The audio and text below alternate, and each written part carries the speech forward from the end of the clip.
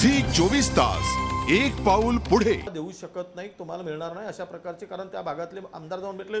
त्यानंतर विदर्भातले आमदार आम्ही जाऊन भेटलो त्यावेळेस राज्यपाल महोदयांची भूमिका स्पष्टपणे आम्हाला दिसली. आणि त्या म्हणजे- गोष्टीवर ते एकदम फॉर्म आहेत असं मला त्यावेळेस आम्हाला आम्हाला जाणवलं. मग असं असेल कदाचित की दुष्काळ आहे दुष्काळासाठी पैसे केंद्राकडून पॅकेज येणार आहे वगैरे वगैरे ह्या सगळ्या गोष्टी होतील.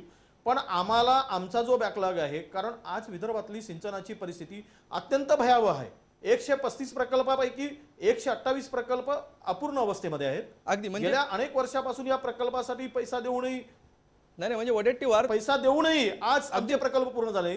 वडेट्टीवार प्रकल्प अपुरा आहे. तुम्ही तुम्ही तुम्ही अधिक स्पष्टपणे. बोलू शकता. अधिक स्पष्टपणे तुम्ही बोलू शकता. तुम्हाला असं म्हणायचं आहे का की राज्यपाल आपल्या सोयीनुसार वागत नाहीत आपल्या सोयीनुसार निधी मिळत नाही म्हणून आता राष्ट्रवादीने अशा प्रकारची विधान करायला सुरुवात केली आहे?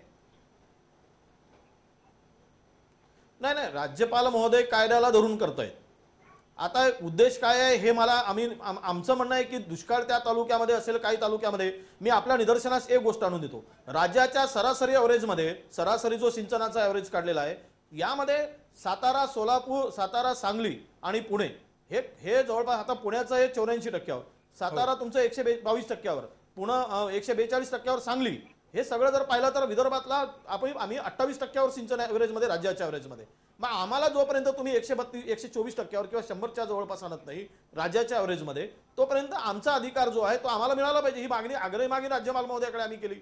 आता राहत राहिला विषय असा की त्या तालुक्यामध्ये काही भाग आहे तो तुम्ही त्या जिल्ह्यामध्ये जो पैसा मिळाला आहे तो पैसा त्या तालुक्यामध्ये तुम्ही वापरला पाहिजे तो मिळाला पाहिजे किंवा केंद्राकडून अतिरिक्त निधी मिळाला पाहिजे. मूळ म्हणजे- प्रश्न असा आहे की राज्यपाल महोदय आपल्या भूमिकेवर आहेत म्हणून नाही नाही बोला. नाही नाही महत्त्वाचा काय मुद्दा असा आहे की पवारांची ही जी भूमिका आहे त्याच्यामुळे विदर्भवासियांचा मराठ मराठवाडावासियांचं काय नुकसान होणार आहे? कुठल्या कुठल्या नेमक्या कुठल्या कारणासाठी या भूमिकेचं तुम्हाला आश्चर्य वाटतंय? या भूमिकेला तुमचा विरोध आहे.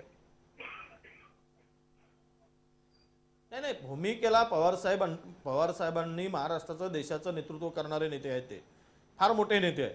कदाचित सहज बोलण्यामध्ये बोलण्याच्या ओघामध्ये कदाचित त्यांच्या तोंडून हे शब्द निघाले असतील.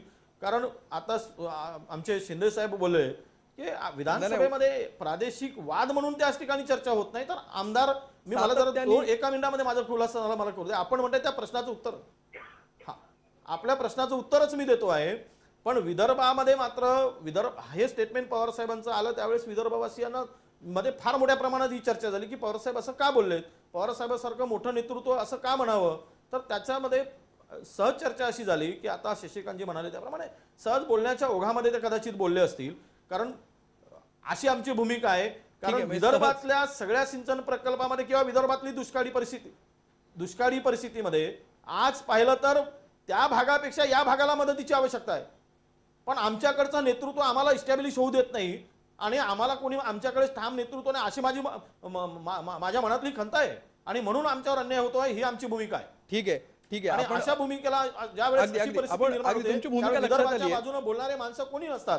विदर्भाच्या बाजूने कोणी नेता बोलत नाही. निश्चितपणे निश्चितपणे. वडेट्टीवार तुमची भूमिका लक्षात आली आहे. कदाचित तुमचा मित्रपक्ष असल्यामुळे तुम्ही त्याच्यावर स्पष्टपणे आपलं मत मांडू शकत नसाल कारण पवार हे सहज बोलले असतील असंही तुम्ही म्हणता आहात. आपण माधव भंडारींकडे जाऊया. भंडारी साहेब तुम्हाला काय वाटतं? तीन वेळा राज्यपालांवर केलेली टीका आणि आता त्यानंतर हे जे पवारांचं वक्तव्य आहे सिंचन धोरणामुळे विघटनाचा धोका असल्याचं हे सहज केलेलं विधान आहे असं वाटतंय का तुम्हाला? नाही पवार साहेब कधी सहज बोलतात असं आजपर्यंत कोणाला माहिती नाही.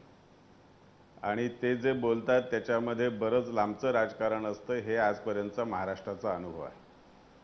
त्यामुळे आज या राज्यपालांच्या निमित्ताने त्यांनी ज्या विषयाला सुरुवात केली आहे ती अत्यंत गंभीरपणे केलेली सुरुवात आहे. तिच्याकडे वेगळ्या पद्धतीनेच बघायला पाहिजे. आणि मला माझ्या मनातला प्रश्न हा आहे की सिंचनाचा अनुशेषच नाही तर एकूणच विभागीय संज- अनुशेषाचा मुद्दा हा महाराष्ट्रामध्ये चर्चेला आणला पवार साहेबांनी.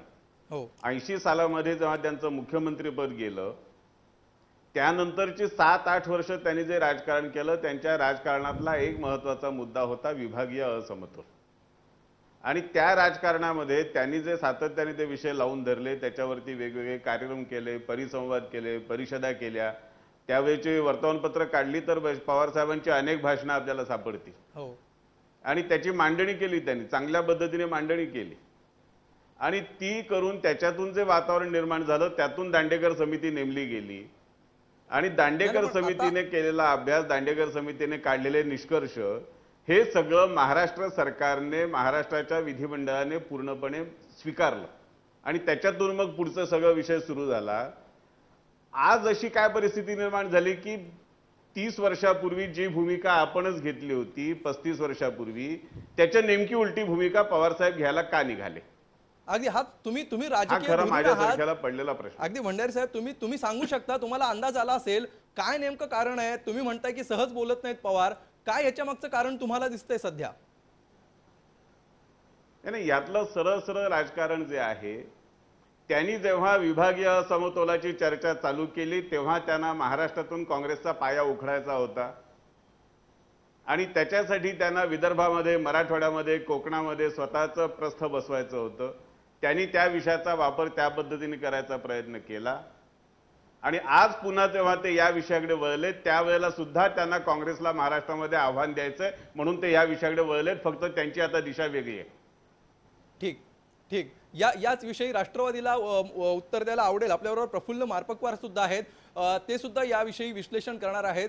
कशा प्रकारे हे हा संपूर्ण हे संपूर्ण राजकारण वळते आणि ते कुठल्या दिशेनं चाललंय हे सुद्धा आपण बोलणार आहोत. एका ब्रेकची वेळ झाली आहे. भेटूया ब्रेक नंतर. झी चोवीस तास एक पाऊल पुढे.